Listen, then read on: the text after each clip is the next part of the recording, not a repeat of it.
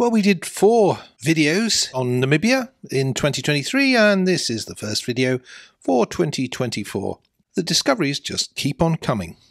So let's try remind ourselves why all the excitement? Well, there hasn't been any oil or gas produced offshore Namibia. Why all the hype? Well, the potential is enormous, and in a few years' time, there will be production. So, on this map here, we can see that this is the region here where all the drilling activity activities taken place, but we will talk about the, the wider area in the coming slides. But the Orange Basin actually continues down across the boundary down into South Africa, and you can see that uh, there's potential and as yet to be realized potential down in the uh, southern part of the Orange Basin which is operated by Total Energies. Now, in this map here, done by Africa Oil, they uh, you can see at the same scale I added this little insert here, which actually shows you the Stabroek block over in Guyana uh, and then on into Suriname here. And what we can see is we can see this is the sort of similar scale for the billions of barrels of reserves that um, ExxonMobil, as operator of the Stabroek block, they've uncovered over the last few years, and other blocks and operations. Here's Orinduik and Corentyne, then across uh, into Suriname. It's early days for offshore Namibia, and there's only been a limited number of wells, but it's definitely an area that we're paying close attention to. And you can see coming up, these are the topics that we're going to cover today. Before we do that, let's just say if you want this information, we now have a Trove Namibia. So you get your hands on all the data from the most exciting oil and gas region in the world. Now we've got a special introductory offer there, and it's valid until the 5th of April 2024. It's uh, 3,950 UK pounds. And just give us an email and uh, you'll keep up to date. Now, what you get for that is you get a technical database, it's a scouting service, it's a, an analog data source, and it's uh, all one stop shop. So, uh, if you're interested, please get in touch. Now, moving on, let's have a look at, uh, at Mopane. Now, Mopane is uh, located in the uh, southern part of PEL 83, which is operated by uh, Galp. Now, there's the uh, the partners listed over here, and uh, Galp have been looking to farm out 40%, but now are going to wait until the uh, drilling program concludes. They have reported a significant column of light oil in reservoir bearing sands of high quality. Now, we understand those sands are Cenomanian Turonian, so Cretaceous sands, similar in age to uh, sands up and down West Africa, and uh, they look to be very, very prolific they're drilled on to a, a deeper target uh, called AVO2, and this deeper target has now been reported to contain significant light oil. So, two columns, and uh, we're yet to understand and find out any specific numbers on net pay and uh, porosities. Well, the operator probably aren't going to make those public, one suspects, for quite some time. Now, the rig has now moved on to drill Mopane 2X. Now, the top hole was pre drilled, and after drilling the 2X well, they're going to return to the 1X well uh, to perform a drill stem test. Now, that's where they're going to try and flow hydrocarbons to surface and get a flow rate and understand what the composition is. Water depth here 1,500 meters or more, so it's uh, ultra deep water. And uh, pre drill numbers that were being bandied around 10 billion barrels in place, but we'll talk about reserves and resource assessment in a, a coming slide. So here are all the prospects that are, shown in uh, PEL 83, and you can see as well as uh, Mopane X1 and Mopane X2, you can see that we've also got a number of prospects here, Scorpion, Cheetah, Honeybee, Eel, Lead A, Lead B. Now, Cheetah, uh, we understand, is a, a carbonate uh, play, which is analogous to uh, the Cullinan well that was drilled here, the top end of uh, Shell's block. Now, we understand that that was dry, so um, does that up the risk on the Cheetah play? possibly. Time will tell. Others are thought uh, to be more like the uh, Cretaceous turbidite plays of Mopane, Venus Graff, Jonker, etc. Now, some discussion going around is that is Graff smaller than previously thought? Well, we've said in the past that we don't rush out and have any confidence in numbers when you've only got one single well. A single well discovery does not really tell you an awful lot about the size, extent of the structure, how the sands or whatever the, the carbonates uh, change. Are the faults or the are the compartments what would be the overall recovery factor all sorts of things. So it really is. But this is table here that we've put together. Gives some idea of the recoverable resources that have been quoted. And these are quoted in millions of barrels of oil equivalent uh, at various times from various sources. Now you can see some of these well-known sources here. They come out and make an estimate. Now have they got information not really. Not really the detailed information that you can have. Interestingly, uh, this uh, Sweet Crudes reports here this was a number that was quoted back in uh, January 2022 before the well had actually spud, giving a range of 250 to 300.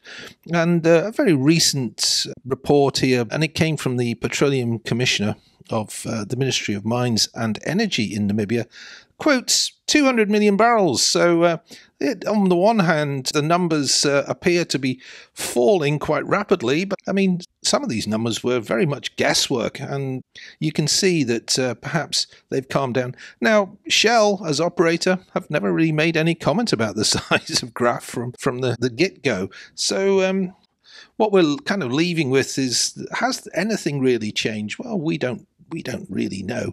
But uh, there has been some speculation on concerns about uh, reservoir deliverability. It may be a concern. I really don't think we have uh, too much information in the public domain, so it's a lot of speculation.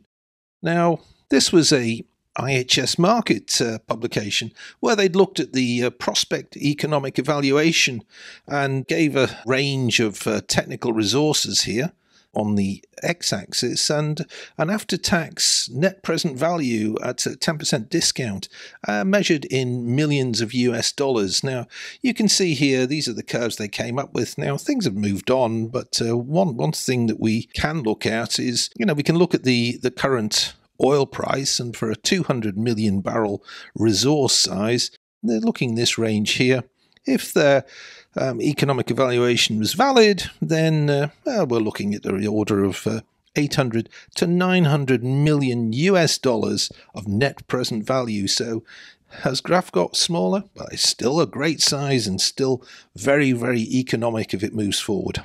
And uh, lots of this information, in fact, all of this information and a lot more. This is the uh, Trove entry that you would get if you subscribe to our Trove database, and that's just on Graff. Now, another example here comes from the uh, UK North Sea, and it involves uh, Gryphon, which is a field up here in the northern North Sea. I was involved in this a number of years ago, but I was actually involved around about the time of discovery. I was working for the regulator at the time, and when Gryphon came in, it was anticipated or much discussed as being a multi billion barrel discovery, much as you see it happened at Graff. Now, a few years later, after some appraisal wells, it was actually sanctioned at only 50 million barrels. This is the AVO. You can see the seismic here shows where the oil water contact is. There is also gas above uh, at Gryphon. And you can see that it has gone on to since produce uh, 138 million barrels to date. And uh, in total, in terms of oil equivalent, some 160 million barrels the difference being the gas production there. Now, here's the uh, the profile for Gryphon, and so it's gone from being with the first well numbers of billions of barrels, sanctioned at 50, has produced 138 to date. So numbers do change. Don't call it on the size based on the first well. That's our advice. Here is our entry for Gryphon from the northern North Sea. You can see lots of information just at the push of a button. If you have got a global subscription to Trove databases, you've got all of this information at your fingertips. So let's move on and have a look at the Jonker well. This is another well in PEL 39 and it's operated by Shell. Supposedly 300 million barrels. Now, this is again a quotation coming in January 2024 from the Petroleum Commissioner of the Ministry of Mines and Energy in Namibia. Now, have the resources been scaled back here too? Well, previously, numbers uh, had been quoted of the order of 2.5 billion barrels. Now, that was a number of oil in place. Uh, it wasn't uh, what the recovery could be. But if you took the two together, it would suggest a very low recovery factor of around about 12%. Which seems very low for, for light oil. Now, it is an older play than Graff, which is something perhaps, but it has been considered that it's got better reservoir deliverability, so you know, we would expect the recovery factor to be higher, or perhaps the oil in place is actually lower. Anyway, Jonker 1's the discovery well, and Jonker 1A is described as being a successful appraisal well. Now, it was a 23 kilometer step out. Now, that's a long distance and, and really extrapolating from one end of the structure to the other on the basis of just two, probably eight and a half inch diameter uh, holes in the ground, probably doesn't tell you about uh, the true complexity of the reservoir and the continuity of the sands, etc., etc. So, you know, more appraisal drilling is going to be required to, to really get a, a handle on just how big that is. Now, I'm sure that's what Shell, the operator, are currently busy doing with all the new uh, well results. And there's the uh, the partnership in this particular opportunity. So it's reported that uh, Shell will be bidding farewell to Northern Ocean's uh, Deepsea Bollsta. Now, there is the rig there. It's uh, been on contract to Shell since December 2022. It's drilled Lesedi, Jonker 1A, Jonker 1X, Cullinan, Jonker 2A, and uh, it's also performed tests at Graff. Now, Shell have elected not to extend the contract when it expires in, in June of 2024. Now, is that significant? Well, well, before it goes, it's anticipated that there's going to be back-to-back drilling planned for the remainder of the contract, appraising Jonker further and drilling at least one more exploration well. So there's still still a lot of work. And then Shell have decided that well, it's probably timely to to sit back and let all the results come through, work up what the implications are from all the various logs and information that's been gleaned on all of these wells, have a look, revisit the seismic interpretation, await all the results of various analyses that they're going to be taking on, biostratigraphy, looking at the ages of these things, and uh, working out where the source rocks are, the maturity, perhaps getting some information on the porosity permeability distribution, um, looking at facies, trying to do all sorts of sedimentological studies, and all the sorts of things. This does take time. Now, I'm sure the financial people within Shell would love this period of time to be shortened as much as it possibly could be. Whereas I think uh, really it's sensible. These analyses do take time. And when they do come back, it gives an opportunity to review what we've got and move forward from there. So the uh, Bollsta, not sure where it's going at the end of this contract, but uh, it's probably going to be back in the area before too long, I suspect. Now, in our wells to watch, we did a video on this uh, for the 2023 wells to watch, and uh, really you can see that uh, for our 2024 wells to watch, which is a video that'll be coming out in the next uh, few weeks, you can see that uh, we've identified quite a number of things that are happening in and around. So here's a blow up of that region showing a little bit more detail. We've got a potential basin opening well. Well, that's a Namib Basin. It's actually going to be drilled north of the border of Namibia in Angola, and that's operated by ExxonMobil. Looking forward, hopefully, to that well, seeing that this year. In PEL 87, we anticipate there's going to be the Saturn Superfan is going to be tested now. You know, uh, prospective resources here over 800 million barrels of oil and reported to be the same play as Venus. That's hopefully going to be drilled later in the year.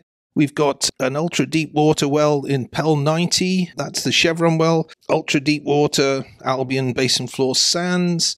Mopane has been drilled and Mopane 2X appraisal. We're going to get the results of that this year. Uh, there's also a deep water Orange Basin one. Little information on this particular one, but that, that's closer to and on trend with Venus and Graff. And uh, we also anticipate in Block 3B, 4B, this is Africa Oil, and uh, we anticipate that that's the uh, potentially the Wolf project. There are 14 prospects, but uh, I think in total, billions of barrels of prospective resource and nearly 4 TCF of gas. We've got environmental positions granted for one commitment well in blocks 5, 6, and 7. This is in southern Africa, that's for Total Energy, and an additional four wells if successful. So, um, very, very exciting region. Lots to be happening. It's going to be a busy area, Namibia and southern Africa in 2024. So now taking a, look back at PEL 91 and PEL 56 now, this is uh, the area shown here. It's the operated by uh, Total Energies. And first off, we did report earlier in the last video, we talked about the Nara 1 which was reported as a failure. Now, a dry hole, according to uh, Total Energies, Africa Oil, they uh, called it a sub-commercial oil and gas find. Well, if you take somewhere in between the two, it sounds like there were shows, but it wasn't really that significant. So um, probably Nara 1 going to be an interesting data point to, to calibrate the seismic and AVOs in the area, the hydrocarbon indicators. Now, at the minute, we have uh, Mangetti 1X. It's currently drilling, and uh, we expect the results imminently. So uh, that gives you some idea of the chronology of when this video was recorded the late uh, January 2024. So Total Energies operating, testing the Mangetti prospect. Now, the idea is that it's going to drill through Mangetti and non deeper and to try and evaluate the northwest extent of, of Venus just to see how extensive the sands are maybe even just going in towards the aquifer. We'll find out in due course, but a great data point to understand the distribution of sands within the Venus discovery. Now, Chevron, they're just up to the north here in uh, PEL 90, and it's anticipated that they're going to be spudding a well in October of 2024. Now, that's one we're going to be watching very, very closely. And uh, I hope they've pre traded with uh, Mangetti so that they have a way to get more information and better understand what's happening just across the block boundary from them. We also anticipate later in the year, Total Energy may move on down, drill Damara or Damara South by uh, the end of 2024, just to really uncover the uh, extent of uh, hydrocarbons within the block. I don't know if you saw our video on uh, Total Energies uh, increasing their stake in the Venus discovery, but uh, we put that out there just a, a couple of weeks ago, and uh, that's worth a quick watch. It's uh, just six minutes long. Now, our tour of Namibia would not be complete if we weren't to cover the onshore regions as well. And in this case here, we can see the Owambo Basin, and this is the onshore basin here. And we're going to look at PEL 93. Now, what's been happening here in the news recently is that 88 Energy have farmed into operator monitor. Now, this table here gives the, the equities. So this was the initial uh, joint venture. We see Monitor 75, Legend and Namcor were not involved in these deals, and 88 Energy. That was the pre-farming equity uh, or joint venture split. And then uh, with Stage 1, which is where Monitor pay for past costs and 2D exploration, which is coming up, then they will earn a 20% interest in the venture. After the drilling of the first well, their equity will go up to 37.5, and after the second well, up to 45, which is uh, basically the last increment there. Now there's the forward timetable that's anticipated for this block, and right now these bumps and lumps, well, they're just uh, basically they're leads, so needs uh, seismic over them to, to to better define them and move on. Now, in terms of the size of this thing, it's uh, 18 and a half thousand square kilometers. Now, 88 Energy, well, they say, well, that's 12 times the area that they have in the uh, Alaska portfolio, which is where they're also active. It's a very frontier region. We wish the companies here success, but we can't get excited yet. We need to see some drilling results. So, in summary, it's a hugely exciting region and it continues to deliver discoveries. More wells are planned in 2024. Volumes quoted in the media, well, on the back of one well, taken with a more than a pinch of salt. I mean, we always say be wary, be wary of any numbers quoted. When an exploration well has just found something, we really don't have enough information to say how big it is at that point. In 2024, we expect to start hearing more about how Namibia will transition from exploration and appraisal to, well, appraisal and, and production, I guess. Production's still not expected until, um, well, probably about 2028. It's It takes a long time. These are deep water or ultra deep water, quite a long way offshore, and uh, it does take some significant planning and, and justification for the, the billions of dollars of investment that will be made to actually bring these fields on stream. So, uh, thanks to to Jonas for helping with some of the uh, info used in this video. And we hope uh, that we've been able to give you a, an insight, just a hint of all the information that you would find if you subscribe to our Trove database. We've got all the data you need. Please get in touch. Thanks for watching the video. Give us a thumbs up, subscribe, ring the bell, and please pass this on to your colleagues. We really want as many people as possible to become aware of the useful resource that we hope Trove News is for you. Thanks for watching. Look forward to seeing you back on our channel before too long. Bye for now.